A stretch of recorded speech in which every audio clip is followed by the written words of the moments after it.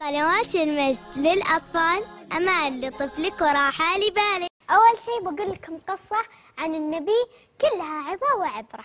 اسمعوني جيدا. مر النبي صلى الله عليه وسلم في المعراج. ورأى جمع من الناس. فقال النبي آه ورأى جمع من الناس. تخيلوا معي. كانوا يخدشون وجوههم وصدورهم والدم يسيل. فقال النبي صلى الله عليه وسلم صلى الله عليه وسلم.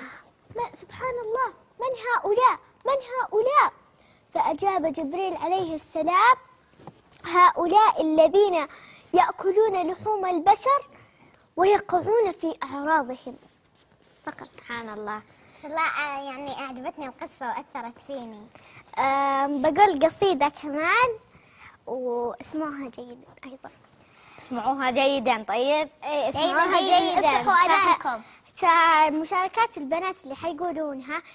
ت- آه، الكلام هذا البسيط راح يفيدكم يفيدكم مرة مرة لأن الكلام البسيط فيه عظة وعبرة كثيرة. طيب يلا ابدأ. آه، الحين بقول القصيدة. يلا. لا تقرب الغيبة تراها نشايب تنشبك في العالم وتلقى العقوبة.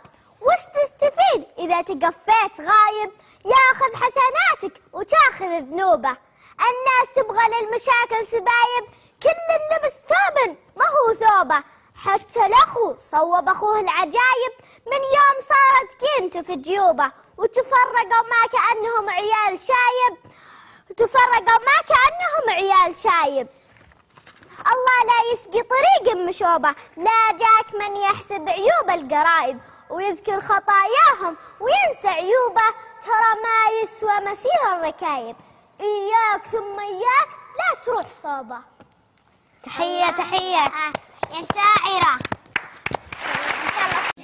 علشان ما يفوتك جديد قنوات المجد للأطفال. لا تنسى الاشتراك في القناة. والإعجاب بالمقطع.